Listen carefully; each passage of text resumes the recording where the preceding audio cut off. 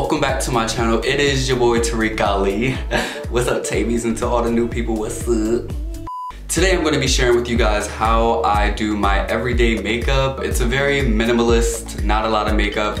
Sometimes I might do the glam, sometimes I might do this, but most of the time I do this makeup routine that I'm going to show you guys today because it's so simple, it looks like skin. So you guys know how I am. I'm not really big on the whole gender thing and you know what is what for which gender. And the only reason I put for men in this title is because that's how the rest of the world thinks unfortunately. So, you know, for the purposes of that, you know, but this is not necessarily just for men. I put the slash for minimalist also because it isn't a lot of makeup, it's very easy. And when I do this tutorial, I'm going to be keeping in mind the prices.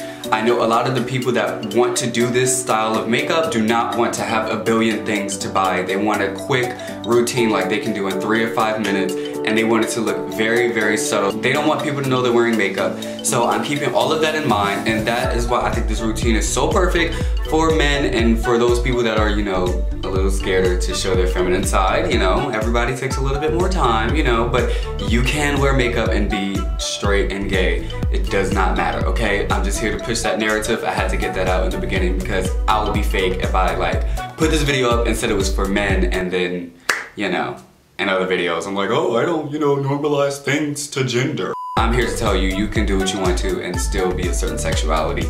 Makeup, what you wear, and what you look like has nothing to do with your sexuality. Okay, this is not about, you know, being politically correct. I'm gonna get to the video. But I just had to get that out. Cause if you know me, you know that's what I do. I gotta be politically correct. You know what I mean? Cause can't be, can't be pushing the wrong narrative. And make sure you go ahead and like this video and you subscribe and you put the notification bell on. So without further ado, let's just, you know, uh, I, guess we can get started. Yeah, let, let's get, let, let's go ahead and get started.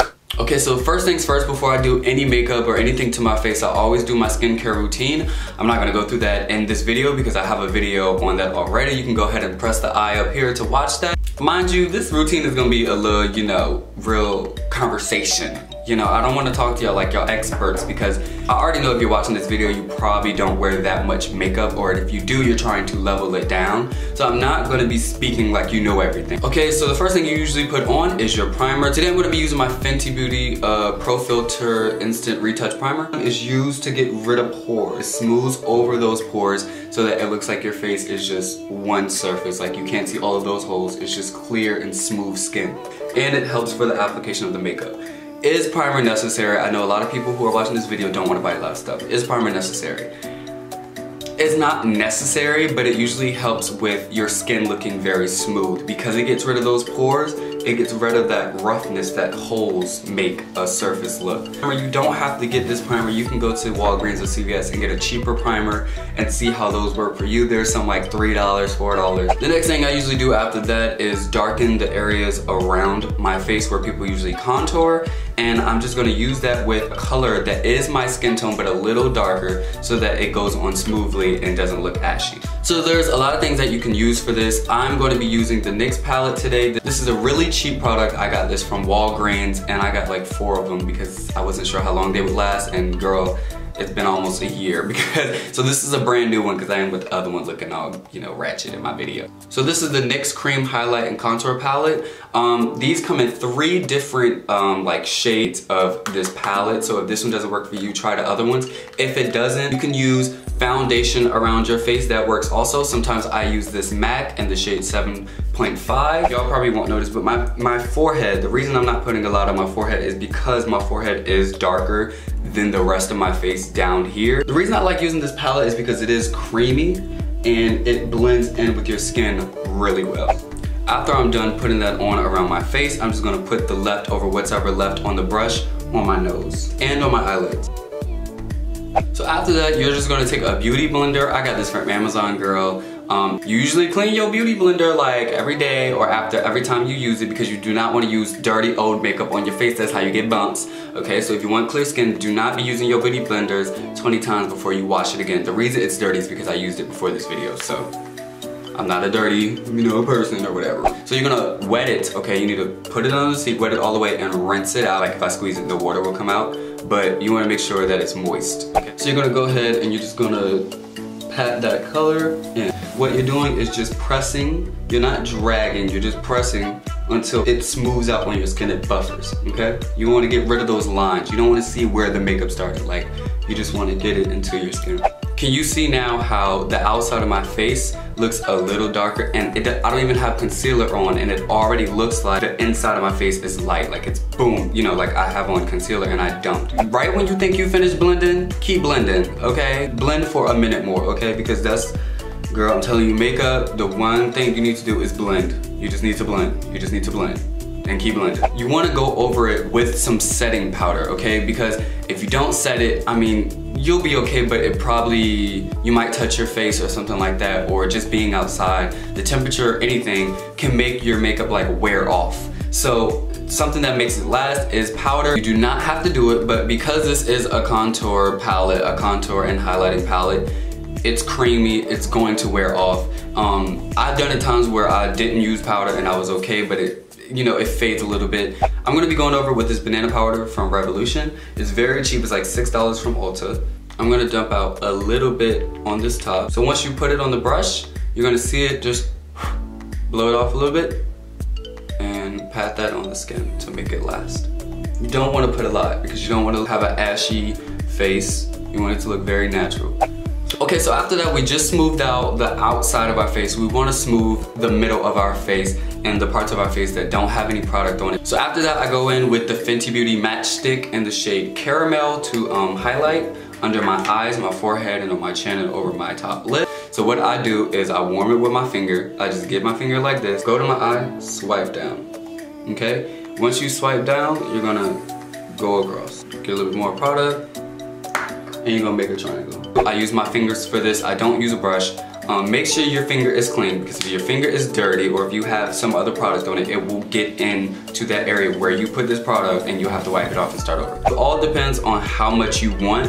Um, the reason I like this product so much and the reason I use this Fenty Beauty is because it's so sheer. It's not really heavy like most concealers because it is creamy. I'm gonna go over my forehead. I'll put a little bit on my forehead, not too much, and I dab. I don't swipe, I dab. Go down my nose, top lip, and chin. So you wanna make sure you're gonna go back over, over with your finger and you're gonna smooth it out. A little trick that I do when I get on the outside parts right here, because this is usually where you notice if you have makeup, like you see that when you do this or make a face or something like that, you can see that clear divide between that light and that darker color. I just pat around the eye like this on the outside, okay?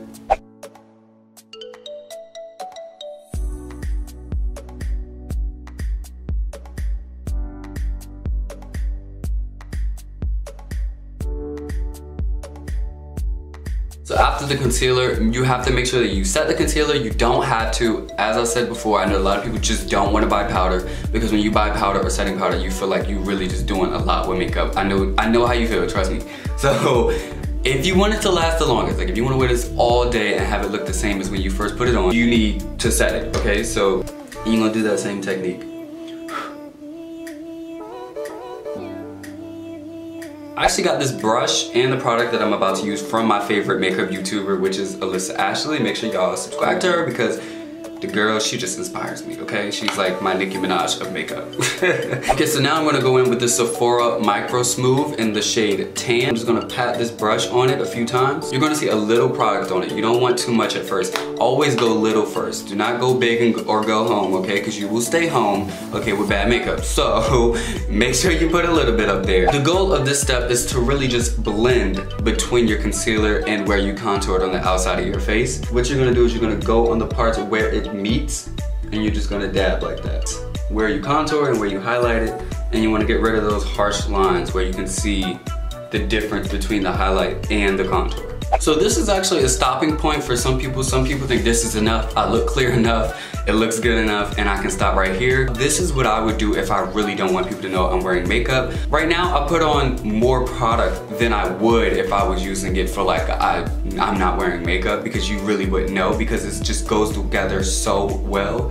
But I put on more product than usual than that because I wanted you guys to actually see the products, see how I'm using it, and see how you buffer it, and see how you control it on your face and everything. But you can't stop here if you feel like that's enough, if you don't wanna add anything else.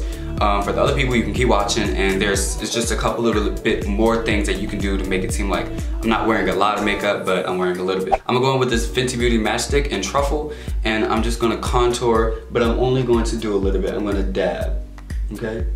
Dab, okay? Not too much. You're not gonna swipe, you're gonna dab. And I'm gonna bring it up a little bit to cuff that cheekbone. Cuff that cheekbone.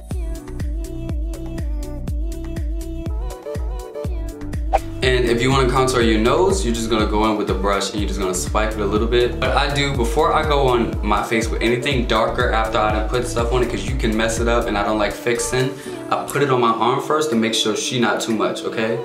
Just get a little bit of that product off. And to contour your nose, you're just gonna go on this side. And you're gonna bring it up to where your eyebrow starts. And I wanna go under the nose and make and make like an arch under. So it makes my nose look a little pointy. It's all a preference on what type of nose you like, okay? If you do this and you get a harsh line, just go on the side and swipe it down a little bit. And then on your cheeks where you contour, you're just gonna go in with a beauty blender. You're just gonna pat that. And don't drag that beauty blender anywhere where you're not using it. That color will transfer. For this look, I do not do my eyebrows because eyebrows just give it away with makeup, okay? If you want a natural makeup look, that's different. But if you want it to look like very minimalist, very I'm not wearing makeup, don't do your eyebrows because when you do your eyebrows, it's so easy to see a pencil on your face, okay? So like, I know when you did your eyebrows, everybody knows when you did your eyebrows, so I never do my eyebrows. I just brush my eyebrows out. If you do want to give a pop or if you do want to highlight your face, if I use a lot of cream, I like to stick to cream. And if I use highlighter, if I want to put on highlighter, I like this sleek palette, um, the Precious Metals palette. So what I do is like to warm it up with my finger. Mm -hmm. Wipe some off on my arm. When you highlight, you want to go in from the end of your eyebrow to this corner of your eye, this area right here. And I'm just going to pat.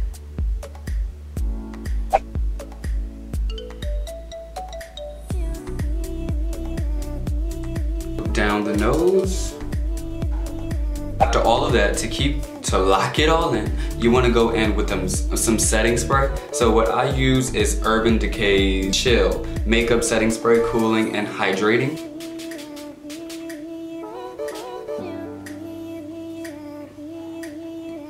So that is it for this tutorial. I hope that it was really helpful for you. I really tried to explain everything in layman's terms and you know the way that I would like to hear it if I was learning back when I was learning. Like I said, you don't have to use these products. Know what products are best for you. Go to these makeup stores, try everything that you buy, okay? You have to remember that makeup has no rules, so you can use anything that you like. If it's contour, if it's foundation around your face, you can use anything that you like, anything that you find works best for you. If you do this look, if you do this routine, please put it on Instagram and make sure you tag me at It's Tarek Ali. If you like this video, please give it a thumbs up and please make sure you subscribe and press that notification bell. I love all my tabies and to the new people, I hope you stay around. Um, yeah, thanks for watching.